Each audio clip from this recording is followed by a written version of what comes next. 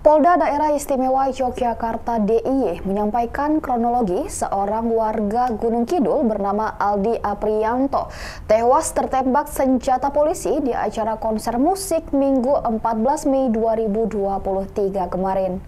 Direktur Reserse Kriminal Umum di Reskrimum Polda DIY mengatakan saat konser hampir selesai terjadi kericuhan antar warga.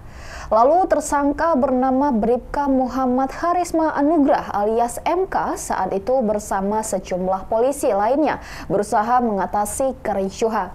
Kemudian tersangka naik ke atas panggung dan meminta senjata api laras panjang dari rekannya yang kemudian diselempangkan di pundaknya dengan posisi laras mengarah ke bawah. Namun tak lama berselang senjata di tangan tersangka tak sengaja meletus dan mengenai korban hingga tewas. Adapun kronologis kejadiannya adalah bahwasanya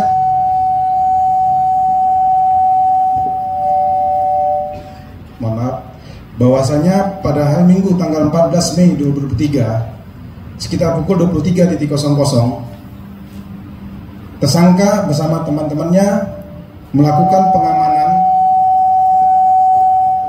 melakukan pengamanan orkes musik dangdut dalam rangka bersih dusun yang mana pada saat kejadian acara tersebut sudah mau selesai namun terjadi keributan di antara para penonton sehingga tersangka naik ke atas panggung dengan tujuan untuk menengahi atau melerai sehingga tidak terjadi keributan lebih lanjut.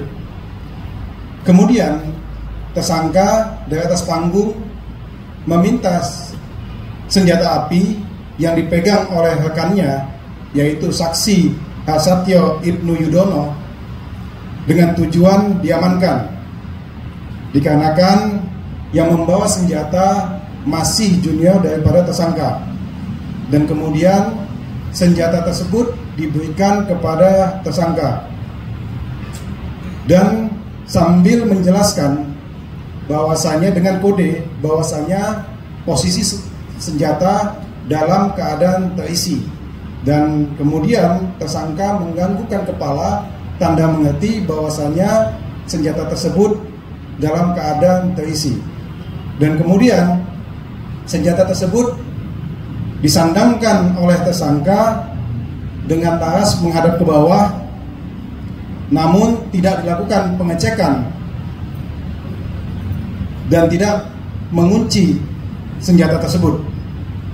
Kemudian pada saat tersangka menunduk untuk menegur salah satu penonton tanpa sengaja senjata api tersebut meletus dan mengenai korban sehingga mengakibatkan korban meninggal dunia. Adapun saksi-saksi yang sudah diperiksa saat ini ada lima seluruhnya adalah anggota kepolisian Republik Indonesia dan kemudian pada saat ini anggota kami penyidik sedang melakukan pemeriksaan terhadap saksi-saksi dari warga masyarakat yang ada pada saat kejadian.